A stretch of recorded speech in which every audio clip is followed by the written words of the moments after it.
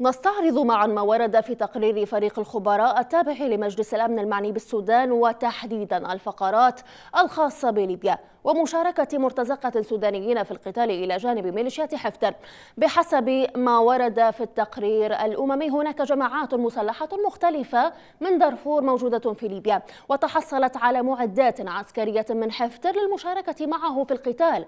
هذه الجماعات يوجد عدد كبير منها في ضواحي طرابلس وأماكن أخرى. أيضا. وعلى رأسها حركة جيش تحرير السودان جناح مناوي حيث يتمركز من هذه القوات نحو 300 آلية مسلحة وتضم أكثر من ألف مقاتل موجودين في مواقع وهي الهلال النفطي وتحديدا في راس لنوف بقيادة عباس خواجة ومنصور يحيى رمضان.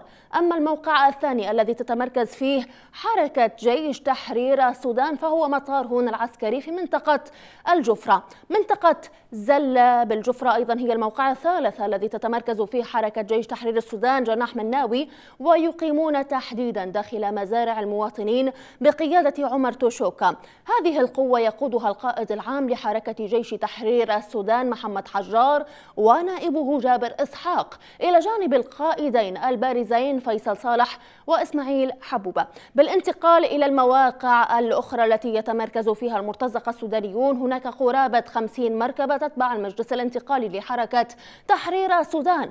وانشقت عن الحركة بقيادة صالح جبل لكنها ما زالت تقاتل مع حفتر. تجمع قوة تحرير السودان ثاني أكبر جماعة متمردة من دارفور موجودة في ليبيا.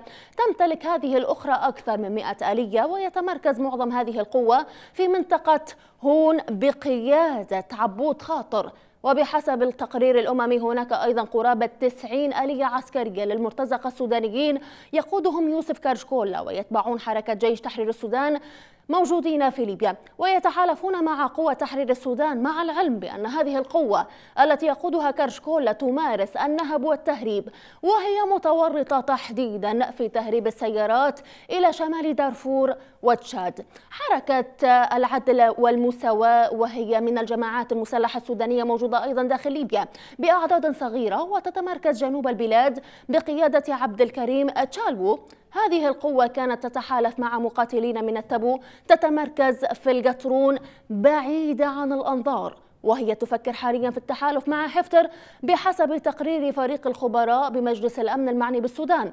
المجموعة السودانية الأخرى التي تقاتل مع حفتر هي قوة تتبع موسى هلال وقد فرت إلى ليبيا بعد اعتقال قائدها. معظم هذه القوة من قبيلة المحاميد في السودان وتوجد حاليا في قاعدة الجفرة.